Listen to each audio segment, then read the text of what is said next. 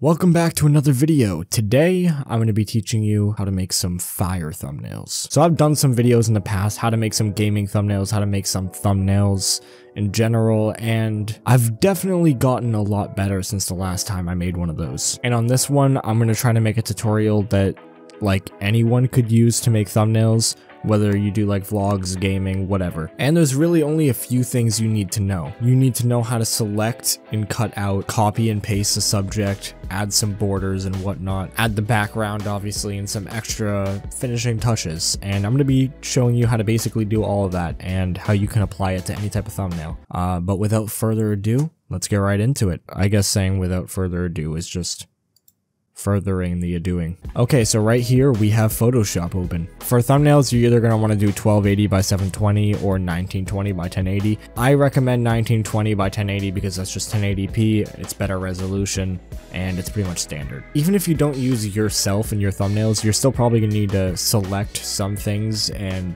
differ it from the background, and that's what I'm going to be showing you right now. So here's an image I took right here specifically to be made into a thumbnail. The newer versions of Photoshop have this thing where you can just go select and then click subject and it will get you pretty well. But if you're just selecting from scratch or just finishing up whatever the select tool does for you, this is how you're going to do it. Go over to the bar here, click on the quick selection tool, or just press W. And if I press Alt and select, you can see it gets rid of it.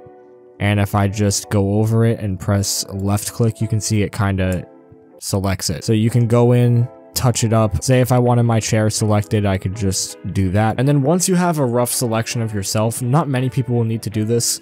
Uh, I definitely need to do it. This is to fix the selections around the hair and everything. You just right click, do select and mask, and then you just want to use this tool right here, second down, the refine edge brush tool. And you just kind of go along the edges and it pretty much just cleans it up. So after you have your selection perfect and everything, just right click and then click layer via copy. And then right here, you can see if I just hide this background, I have just me right here. It's not perfect, but when I blend it into the background, it will look a little better. So from here, I can either choose, say, I just want to grab my background, go to filter, blur, Gaussian blur, and just blur the background and maybe that's what I want to do. And that itself could work as a thumbnail. It all depends on what type of thumbnail you're going for. You can mess around with the blurs. You can do a motion blur so it kind of has more of like a, I mean, a motion look. You can see like that makes the blur a little different. Or you can select your subject and the background and click Control T and just kind of move it around a bit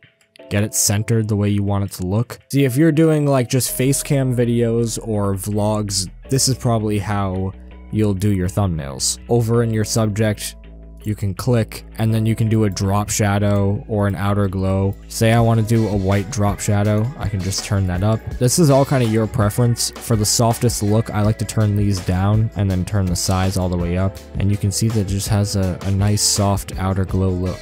On top of this, I have graphics packs that I often take things from, like lighting effects, little background effects, just kind of whatever to make it look better. I highly recommend you go and look for some thumbnail graphics packs. I might put together one myself eventually. That might be sometime in the future, but for now, I recommend the 30k graphics pack by Timpers. I will link it in the description below. It's the one I use for all my thumbnails. It's really good. Under CCs right here, which is color corrections, grab this lighting effect, put it on my thumbnails, and I can just turn it about down a bit, and it always just makes the lighting look better. But if you don't want to download it and you kind of want to try to make it for yourself, see how you can make it without someone else's help, you can just you can just click down here and go into curves and you'll have your own thing to mess with it right here. You can mess around with the highs and the lows and you can get that same look by doing it yourself. Say I want it to be vibrant and pop a little bit more like also gave give it a little bit of a faded look you can really just mess around with this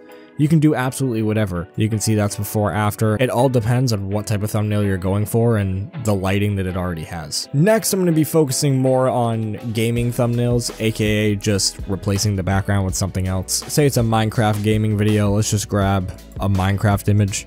Perfect. I can just get rid of that background right there, place that one in. When you're doing this, you're gonna wanna click Control T on your subject so you can move it around however you want. See, for me in this is instance, I could put myself over here, but I usually like being on the left hand of thumbnails.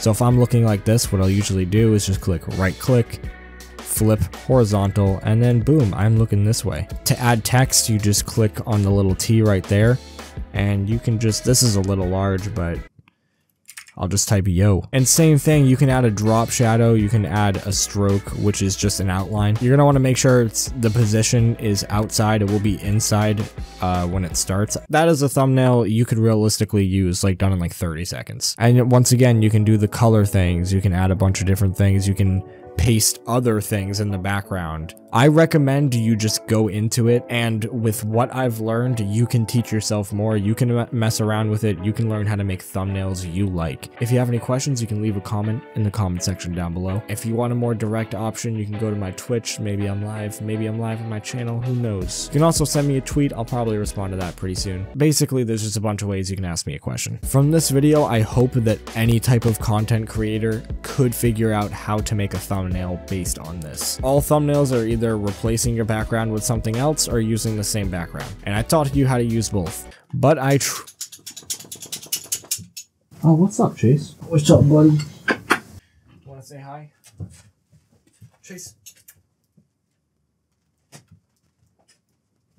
No, Chase. Oh, he left. But anyways guys, I hope you enjoyed this video. If you haven't already, make sure to subscribe to my channel for more content like this and besides that, I will see you in my next video.